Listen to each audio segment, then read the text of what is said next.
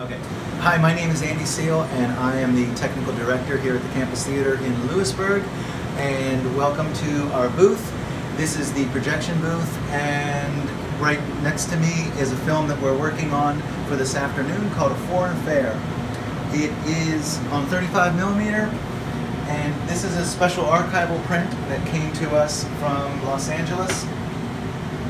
And we have to inspect this to uh, just to make sure that it's clean, that there are no uh, no major imperfections to it that would uh, wreak havoc on itself inside our projectors. So I'm working on this, but just to show you more parts of the theater, this is our digital projector right here, where you'll where the majority of our films Thursday through Sunday are are screened through.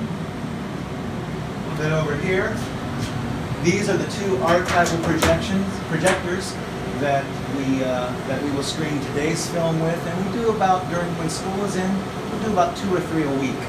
And if you notice, we've got two of them because we run 20 minutes on one reel, and then we cross over and, and change over to projector number two for 20 minutes, and then we change over. You look for the little cues in the top upper right corner of the screen to tell us when to start the motor, when to do the changeover. So it's, it's kind of old school, but it's also the, really the safest way to run um, a 35 millimeter print. We come back over here, and you can uh, take a quick peek at our digital server.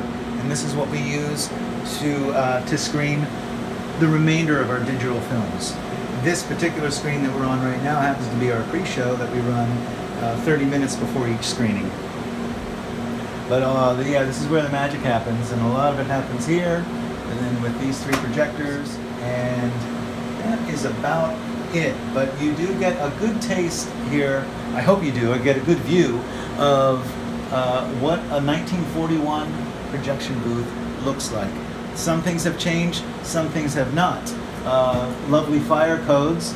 Back in the day when films were silver nitrate and uh, explosive, uh, many theaters sadly burned down. And so fire codes were implemented um, to make them less lethal. Uh, and eventually, Kodak developed uh, several forms of safety film to make them less explosive and flammable. But this is still a remnant. Uh, this was something where if the heat got too much, there would be a tab that would break here. This weight comes crashing down, and boom, we've got a shut door. Uh, we still have the old fire doors here. Uh, we don't really need them, but they're here just because they look so cool. Edge that we uh, put to use when we screened Spinal Tap here on 11-11 of 2018 leave it right here, nice and safe on top of our digital projector. And I think that's it. I hope so.